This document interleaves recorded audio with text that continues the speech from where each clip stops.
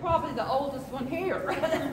uh, but I am so thankful to be here because you don't know what it means to uh, be able just to stand before those that you know have been called out.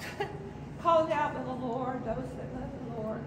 And I'm so, so very thankful. I, have, I want to introduce some of my girls. Those are your girls. I have some of my girls back here at this table and over here. and you know this one, but over there is Luke's wife, Gloria. And there's Lisa. That's one of my girls from way back when, when she was a little girl. Taught her in Sunday school when she was a teenager.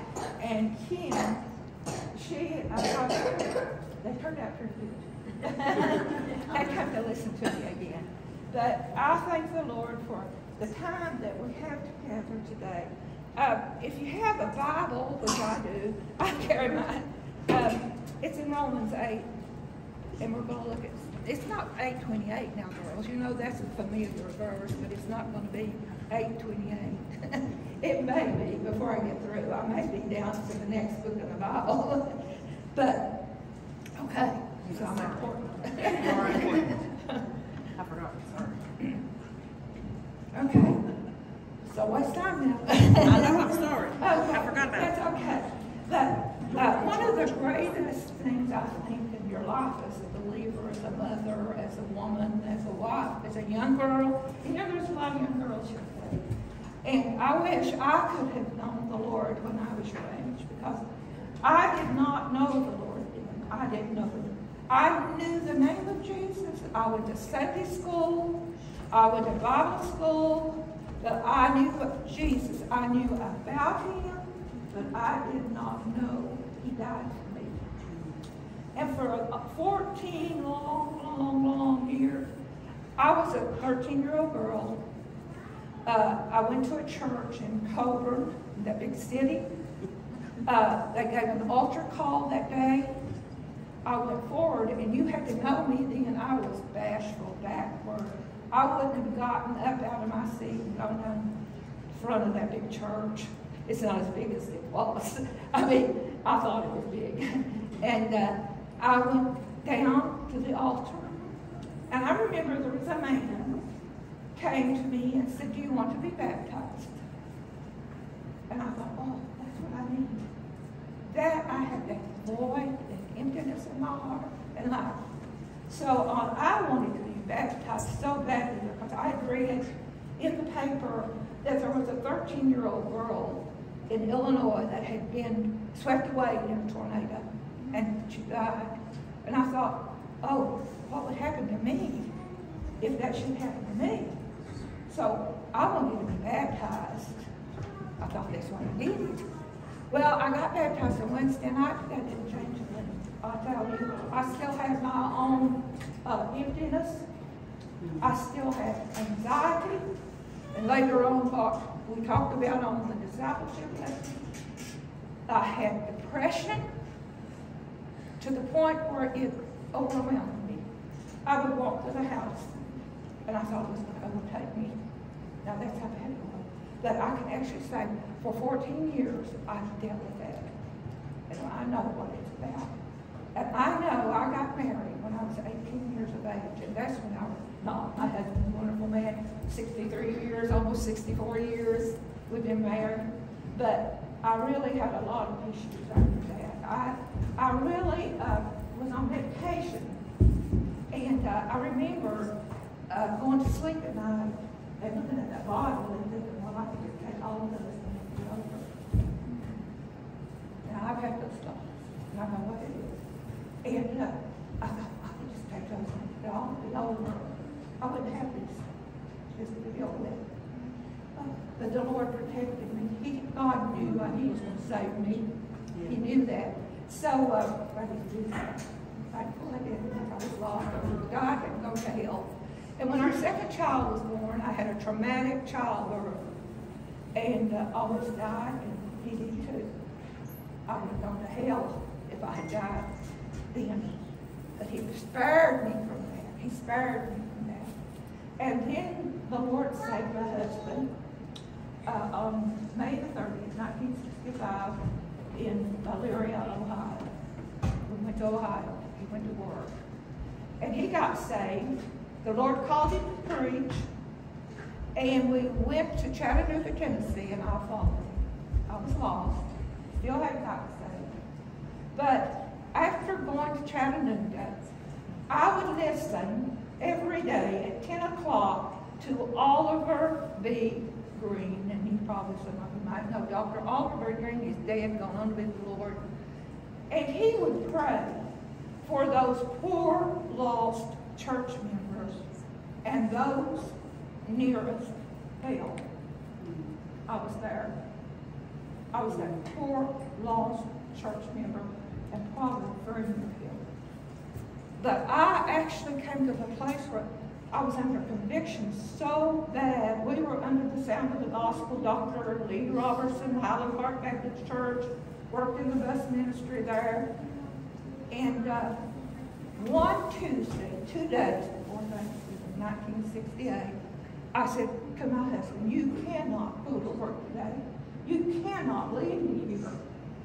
And he said, Sonia, I am so tired of this. I was doubting all the time. I was struggling. I was struggling. He said he took the Word of God, stood in our living room, opened up the Word of God to Romans chapter 3. And he said, Here, you read it. And I began to read it, and I know it didn't happen this way. Those letters did not come off the page, but they seemed to be coming off the page. Big, black, bold letters that said, For all have sinned and come short of the glory of God. Well, that's all it took. I saw myself as sinner. I was proud. I was not as bad as that person that's going in the church down there on the corner. I would stand in Monroeville, Ohio. I would watch those people go in that little congregational church every Sunday morning and think, oh, I don't need to go to church. I'm better than they are, or as good as they And I was. Lost.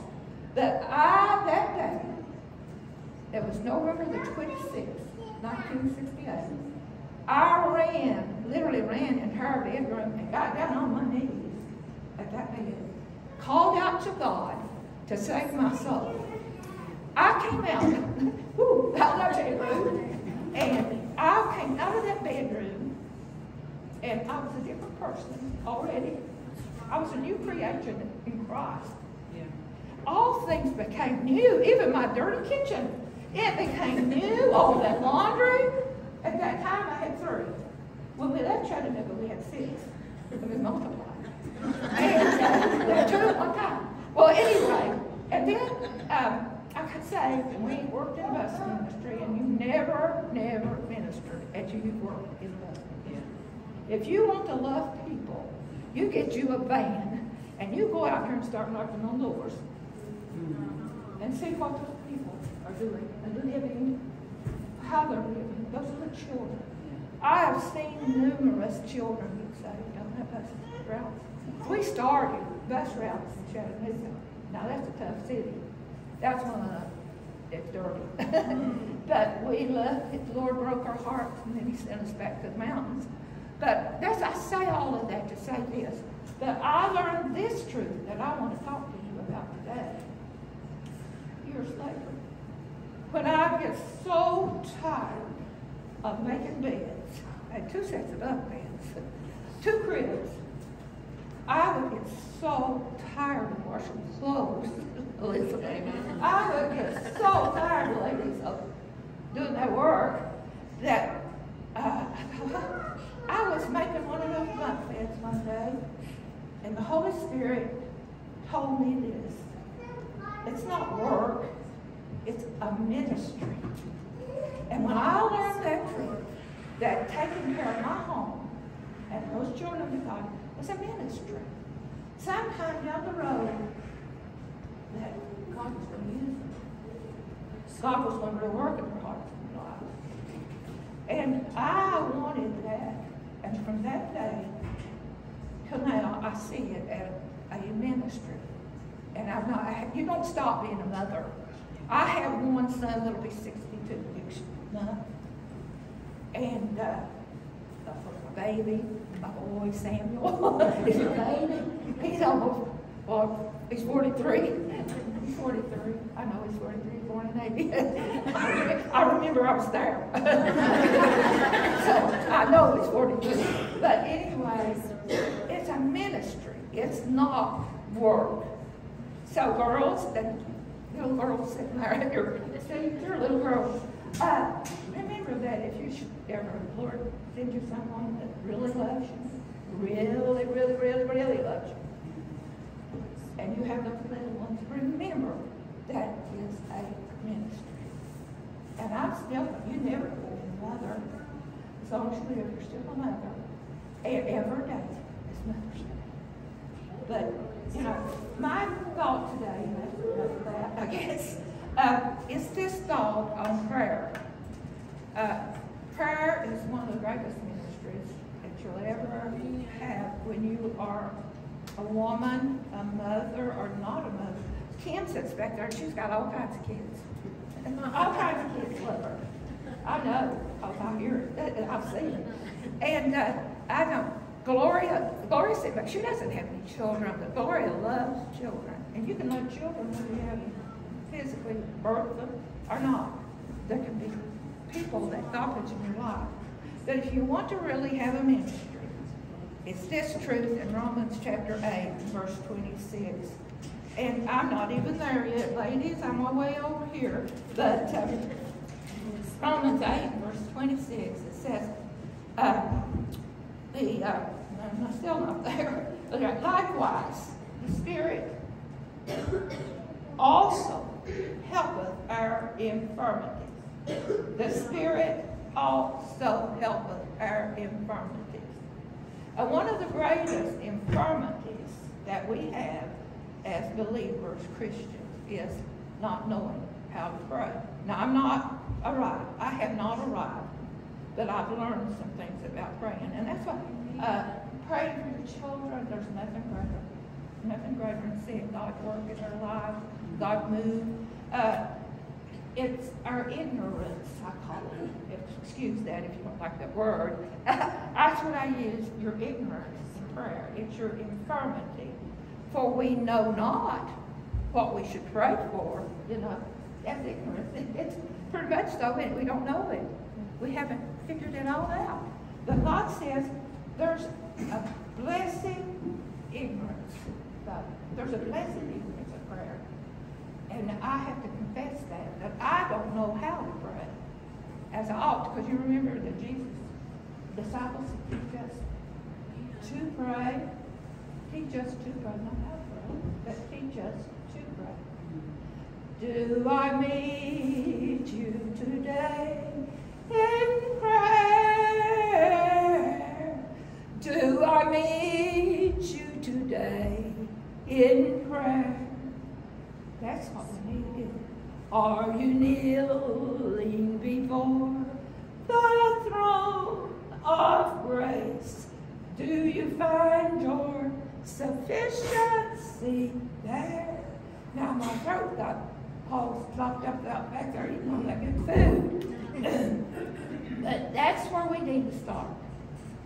Do I meet you today in prayer? Every day, every day, every day, every day you set your feet on the floor. Remember to pray. Because we can get so busy that we forget to pray.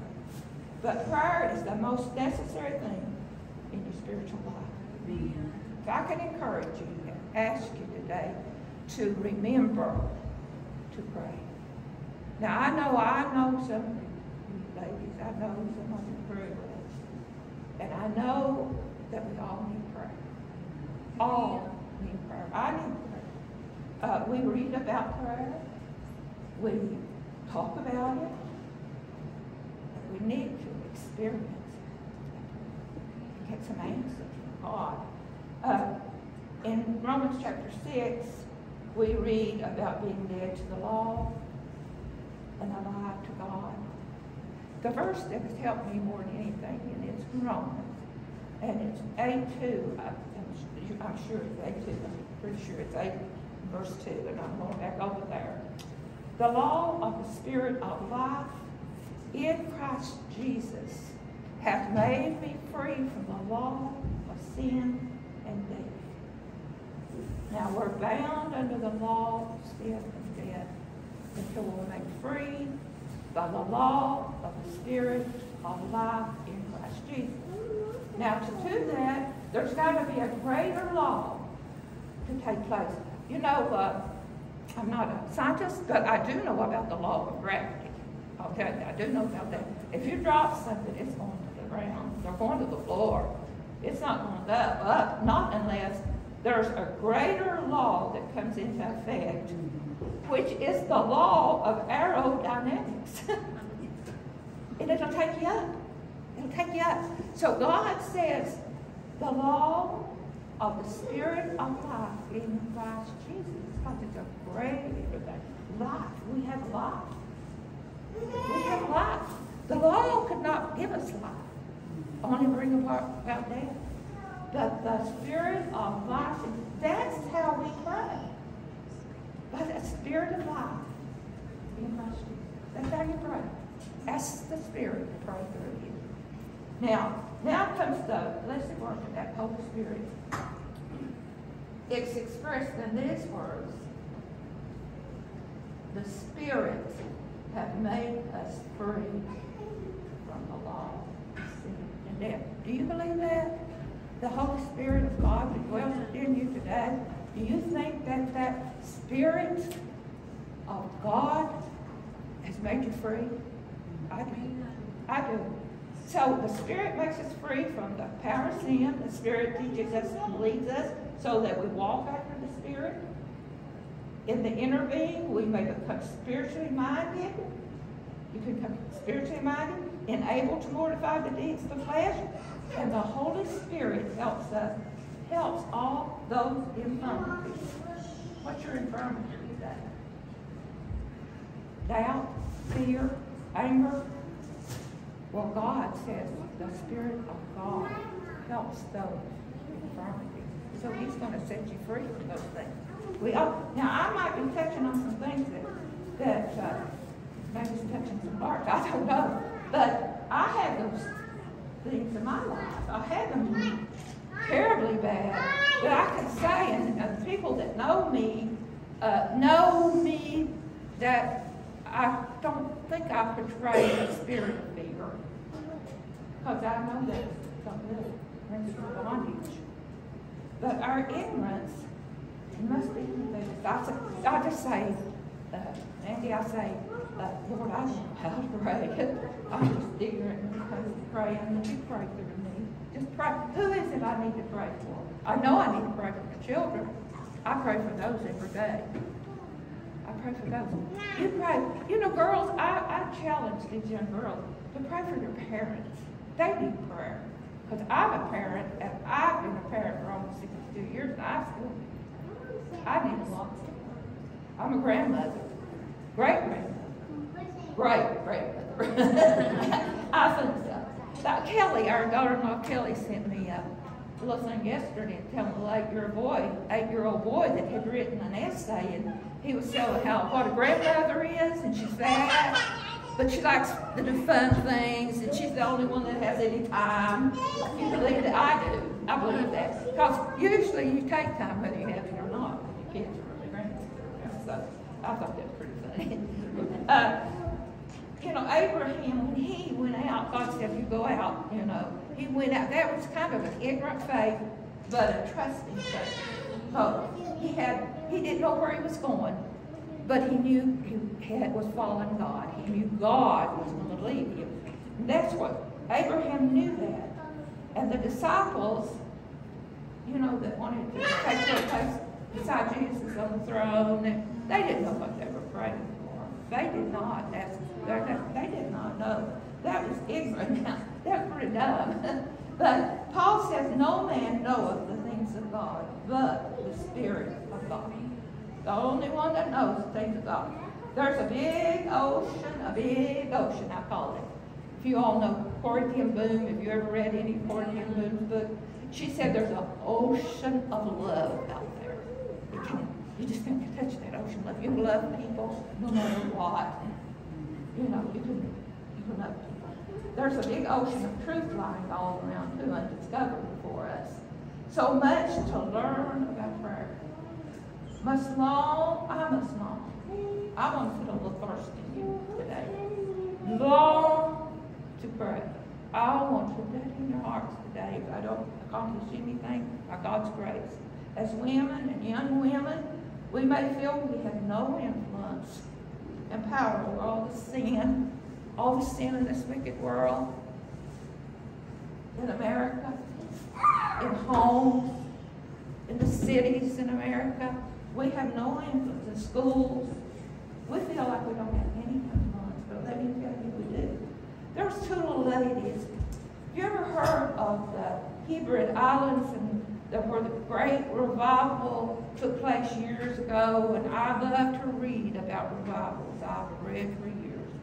The Lewis revival was one of them. It was a mighty work. Young people fell on their faces before God all the way to the church. They didn't know why they were coming. They came. They were drawn by the Spirit of God. And they were saved. they like to party, you know, have their big parties. And I was a teenager one time, too. So I think that that's what we need to do. And you can pray for revival, for true revival. Anyone can do that. I mean, any of you ladies can pray. I mean, if you know the Lord, you can pray.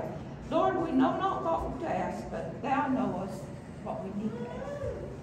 And that's where the Spirit of God, that's what I call that ignorance in your praying. Just ask God to do the work in your heart and show you. Uh, I've got so much of it, sure. But I don't want to keep because I know you're stuck like I am. And I've got a long ways to travel. uh, uh, the Holy Spirit can pray a hundred times better than we can. You know, the Holy Spirit can pray a hundred times. Because God is all powerful. So he can do anything. Uh, he can turn the water into wine. He can do anything. Let me tell you a little story. It's personal. I like to tell personal. It's real. Uh, when I found out I was pregnant with Stephen, and well, Stephen's not here today, so I'm talking. No, Stephen, uh, I would have, he was the sixth one. Uh, and I thought, oh Lord, how are we going to do this? Because my husband didn't have a very good job. I mean, he worked, but he didn't, you know, salary wasn't much. We had very little income. And I knew we were struggling anyway, and I thought, well, how are we going to feed another one? You know, how, how is this going to be done? Uh, and tested.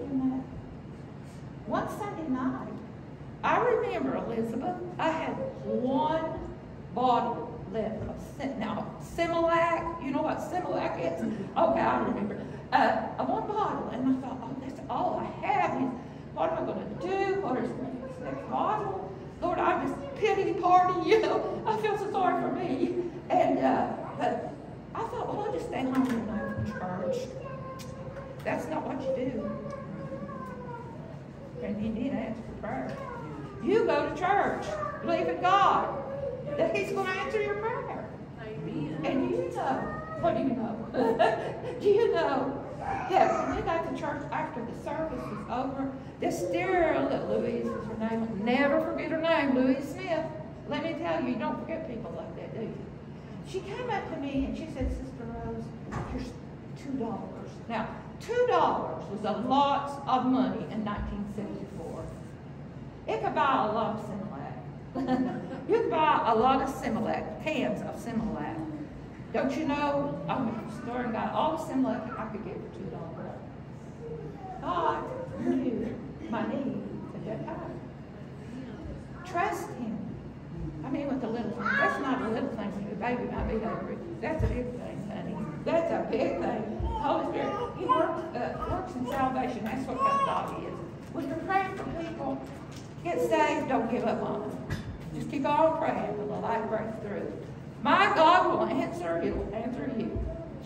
He will. In a day when so many of us as women, we're wanting to do great, mighty things, mighty works, you know, but the greatest work of all. Take some time and just go before God and say, Lord, I need the Holy Spirit to pray through me. Be sensitive to the Holy Spirit speaking to your heart and believe Him and let Him do the work in your heart.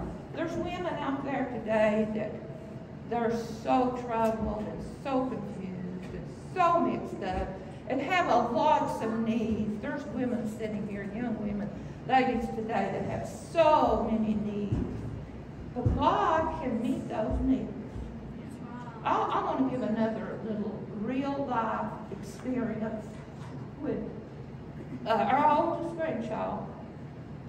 Jordan was born. Uh, her mother is a short little girl, 4'11. Her first child, of course, it's our first grandchild. and uh, she, uh, uh, they induced labor, but she could not have a child. Eventually, they decided to do a C-section. And it was like late night, close to 12 o'clock at night or later, uh, that Jordan was born. I think she was born after midnight, maybe 1 o'clock something like that. But uh, they finally decided they were going to take her in for C-section. And 45 minutes to an hour, the doctor says, we'll be out. We kept waiting. Her mother was with me. Kept waiting, waiting, and waiting. We're not going to see a baby or Mark or anybody, you know, what's going on. Finally, the door opens and Mark comes out, and I knew, listen, it wasn't good. It wasn't good. Uh, Mark had this dejected look on his face, wasn't happy. He wasn't smiling at all. And he walks closer to us and he says, they don't think Kelly's going to make it. Well, her mom, I thought, Lord, Pennington was going to drop to the ground, the floor. I said, Lord, let's go in the room here. Let's pray together. And we went in and we sat down at this little round table like they have in the hospital rooms, with two little chairs. We sat down in those chairs and we began to pray. And the girls, God is real. The presence of God came in that room. And I said, Lord, she's going to be okay. I think she's going to be okay. Well, my husband was downstairs with his uh, uh, Mark brothers that had assembled down there to see this baby, you know. And uh, Kyle goes down there and prays with them. And that same presence of God was in that room down there. And don't you know God touched her? Uh, they had to do a hysterectomy that night too. She hemorrhaged so badly. Kelly will tell you she was so near death that she thought she was really dying. But God brought her through that. Don't you pray for that family? Pray for Jordan. She's 33 yesterday. She was 33 years old yesterday. But pray for that family. But God is a God who loves us and longs to hear our. And you answer those prayers. God hears me. Believe that. God hears me when I pray, young ladies. God answers when I pray. He answers. And I want you to know that God can meet all the assaults of Satan, anything that comes against you from Satan. God can take care of that too. So if you're going through that right now, we have access to the Father all the time. all. Does that word all still mean all? I think it does. We got a world church that just, she said, Colin say, my husband said, Heather, what does all mean? She said, all. all. That's what it means. It means all. When a mother must leave her place at the altar when we're praying, if you're a mother, you know how busy it is, don't you? Being a mother's hectic sometimes, I'm telling you. And or girls, you you have um, access to the Father. When you're praying and you're interrupting, don't get agitated. Just find God. Now I'm relating to mothers right now. Just find God in your domestic affairs, in your household. He's there waiting for you. You can pray. You can pray, change the baby diaper. You can change fixing a meal. You can change, uh, pray, taking care of your family in any aspect that they need. That you can pray. And you can find God there too. You don't have to wait till you get on bending knees. I advise you to get on bending knees sometimes. I can't anymore. I have to sit in a chair. I got my little rocker, because my knees don't work very well. When you get almost 82 year old, your knees give way. After you've carried the, you know, seven boys to give birth to them and twins that weighed almost 17 pounds, and 10 pounders, 9 pounds, well, you get pretty worn out. so you've got to do something to compensate for your need of prayer. You've got to get a chair or somewhere. And the Spirit makes us free from, uh, there's a freedom of God gives us from the, uh, we feel like sometimes we, we don't know how to pray. We feel like we uh, don't have power, but He gives us the power to pray. That we can pray because He's all powerful. We are weak. When that's one of our infirmities, our weakness in prayer is the infirmity. But I want to share with you something too, and I know I've uh, not taken as much time as I could have, ladies. Uh, while I'm thinking about had one of these for every one of you ladies, because I think that even you girls that are single, not married, or thinking about getting married, or something like that, whatever it is, uh, it's called For Our Children. Uh, if you don't, if you've known me very long, I'll tell you one name that you will hear, definitely hear from me, is a lady called Amy Carmichael, who had a, uh, homes in India. In uh, she was there for 51 years, never came back to her homeland of Ireland, and she built these homes for these temple little girls that was taken out of temples in India, and she made a home for them, and boys too later uh, she had a hospital. But Amy Carmichael was my spiritual mother. I did not have a lot of older women in my life to help me as a young Christian. I depended on some of the uh, people, uh, well, one dear lady, Frances Richmond, personally knew her, that put into my hands Amy Carmichael's book. And it, girls, you have a lot of devices today to use. But I like a book in hand. Get you a book. Get one of Amy Carmichael's books. Get a book called Amy Carmichael of Dohnavur. It's India, in India. You all have it. Someone here from India. Uh, read that book about her life. It'll change your life. Uh, Father, hear us. We are praying. Hear the words our hearts are saying. We are praying for our children. Keep them from the powers of evil, from the secret hidden peril, from the whirlpool that would suck them.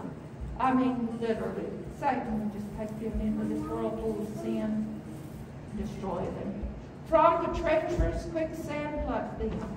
From the whirlwind's hollow gladness, from the sting of faithless sadness, Holy Father, save our children.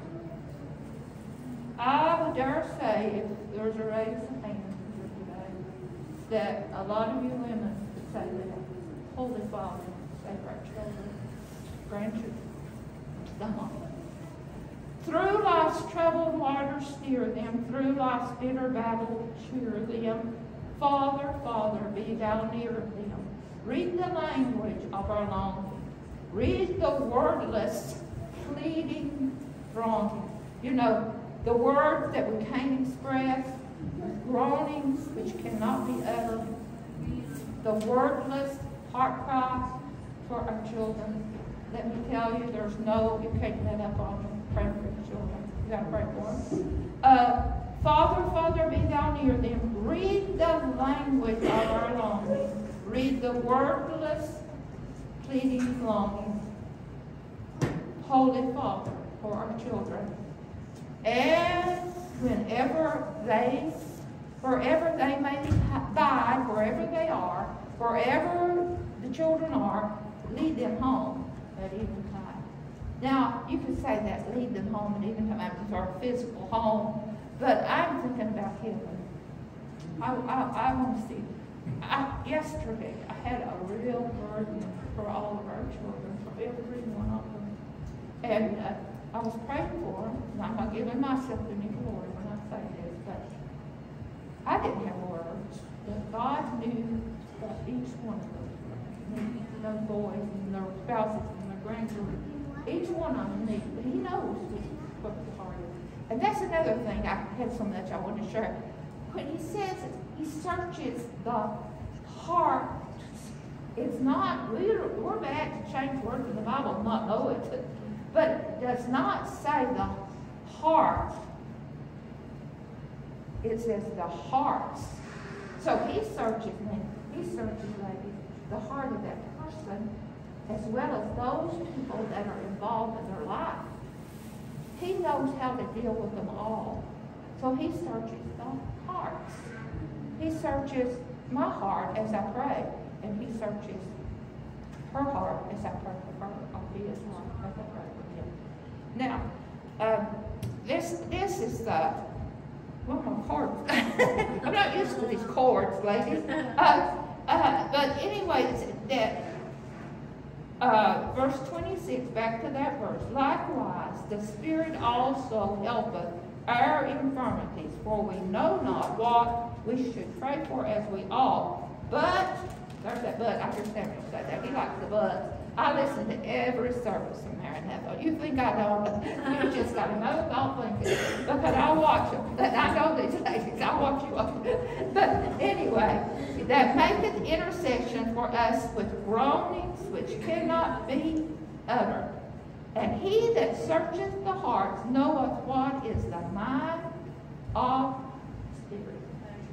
Knows the mind of the Spirit because he maketh intercession for the saints according to the will of God. So we can't ask for more than that, can we? Make an intercession for the saints according to the will of God.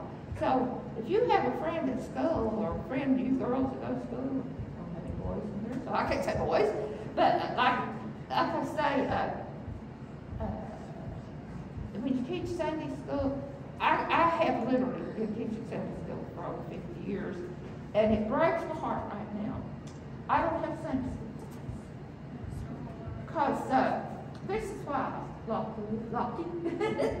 I knew Lockwood a long time ago, too. uh, it's this, I'll tell you what it is.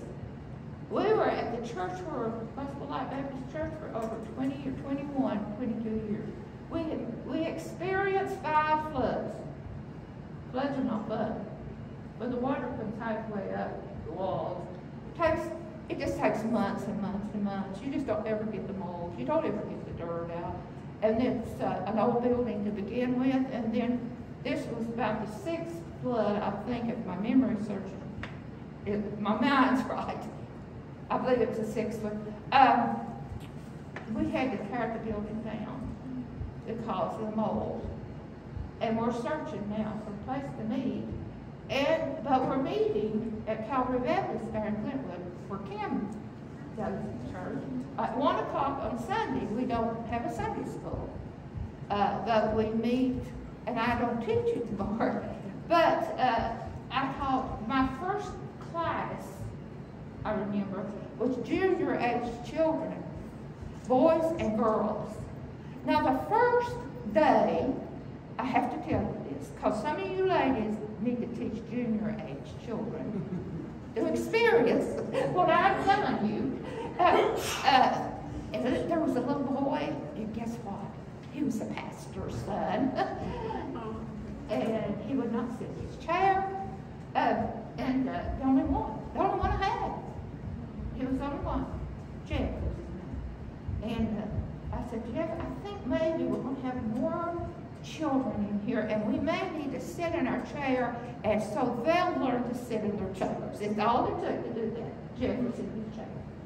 And our class grew. Then the Lord allowed me to teach teenage girls, and then women. And that's what I've had in our church place. So you pray for us a place to meet as whatever the uh, it's been a challenge. Uh, challenge. But the Lord be with us. I want to thank you for it. And I want to read this, and then we're going to pray. And we're going to let you ladies go. I know you're tired.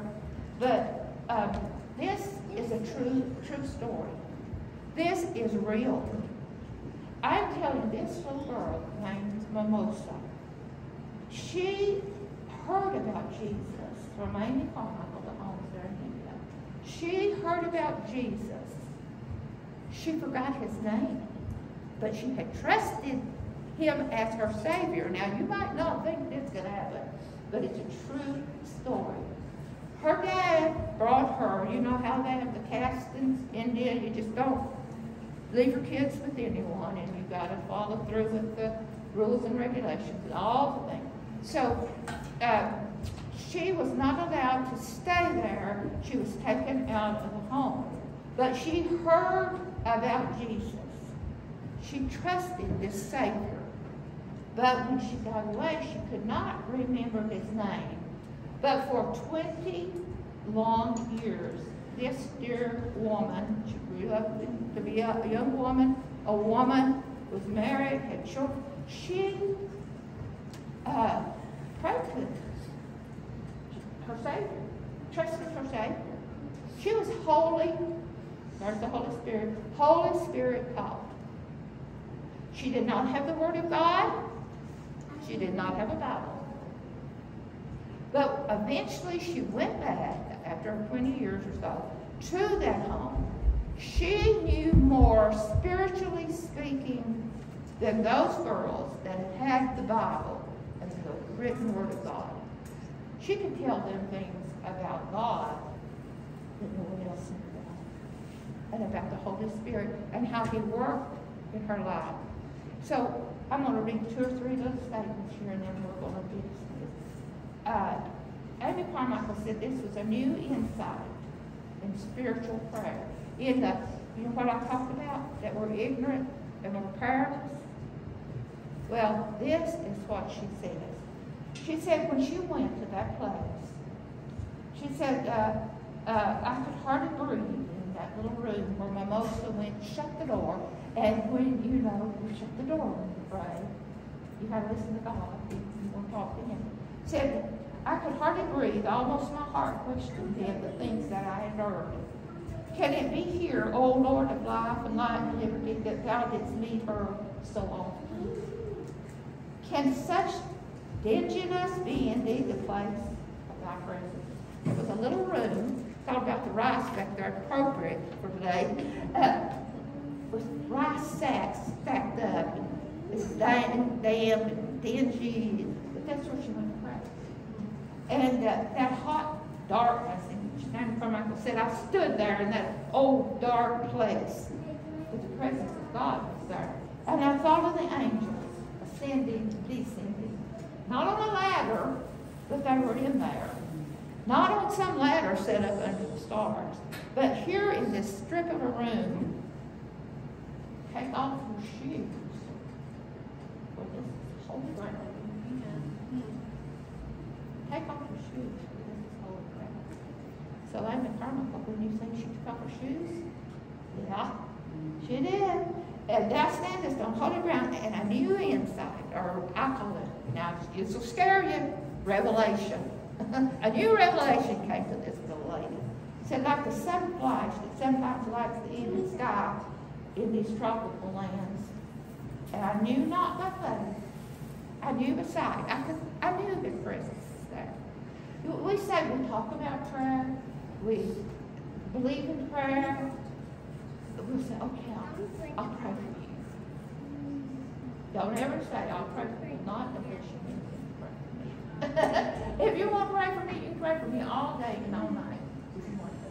But, yeah, prayer. Okay, back to this. I do not with faith now, but as it were sight, that our Lord Jesus Christ can do anything, keep anyone, he can keep anyone, shine anywhere, sugar in spite of all the forces of the enemy. He can strengthen you support you, even though the forces of Satan are all around. He can still help you. And comfort, and comfort in any circumstances. Circumstances are nothing when it comes to God. It's a circumstance. It's a circumstance. They're nothing to God. They're just nothing. We, we, well, how, bad circumstance. Well, it was, but was God saying for you? He was? In that bad circumstance. Okay. Uh, so he is king of them all. All this, what we think of material things, is perilous, it's cramped, or subdued. It is not. The spiritual conquers every time. And that's what we're talking about. The spiritual we're about. The spirit itself maketh intercession for us with groanings which cannot be uttered. And so if you want to pray for me, you pray like that. You just ask God to uh, pray for pray for your children, pray for your family. I need a lot of prayer. Uh, we all need prayer. Uh, I, I, I just uh, think of, uh, well, a little boy, you know, the pastor's shared. I think of Samuel, and I'm not putting in plug for Samuel. I'm saying he needs one prayer. Because we've been there. We've been, I, uh, we've been pastor, pastor now for years. And I know, I know, uh, from experience, but there's nothing greater to know that's God's will for your life and be right in the center of His will. And uh, I know I, I don't have any knowledge of music. I have no, not any. I don't know what a note is or whatever. I just know the Lord. And, and when the disciples said, uh, uh, teach us to pray. I'm going to sing a little bit of this song. I know we don't, don't want to hear it, but I'm going to sing it. anyway. Teach me to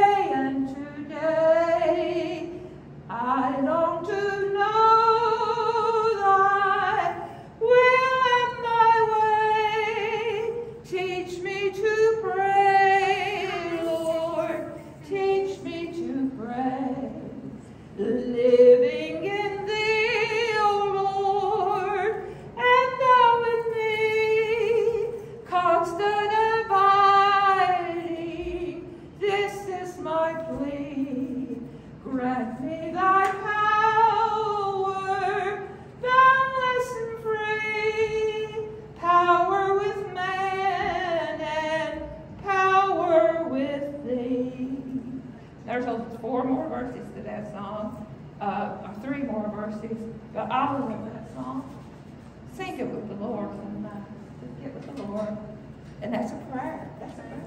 That is a prayer. And it's called Teach Me to Pray. And I'll go back to another thing. When I, uh, back in 1975, my mother uh, bought me a soul stirring hymnal by John R. Ross. No. And uh, she gave it to me for Christmas. And uh, that was in 1975. My mother went to be the Lord in May, May the 16th. These three more days.